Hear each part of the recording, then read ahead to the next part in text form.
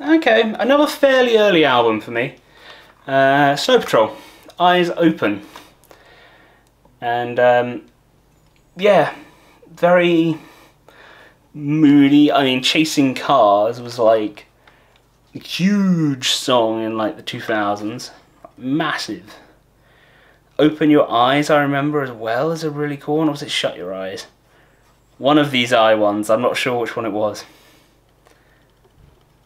Um, but yeah, Chasing Cars is like it was such a classic. It was actually a, like one of the first things I learned on guitar as well. The ding ding ding ding ding ding ding ding ding ding ding ding ding ding.